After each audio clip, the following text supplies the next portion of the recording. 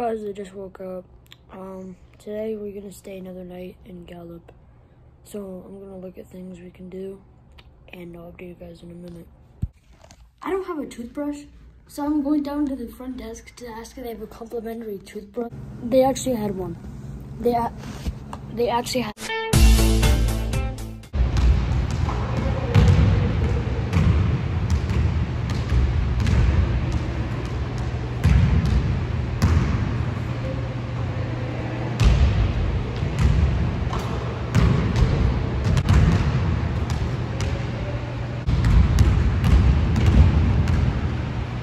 So uh, update. I just got these, so uh, that's pretty cool. Okay, guys. So right now we're still in Gallup.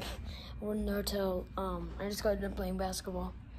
So tomorrow in the morning we're gonna leave and we're gonna go to Arizona. So uh, I'll update you guys if something cool happens.